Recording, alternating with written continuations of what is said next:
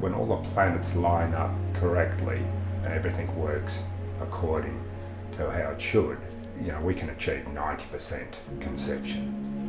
As you know, when you're working with Mother Nature, there's other variables come in. So the range is probably 50% to 90%, and uh, the average is between 60 and 70% uh, conception, and that will relate to the number of lambs born. But you've got to have best management practices uh, to achieve the best results.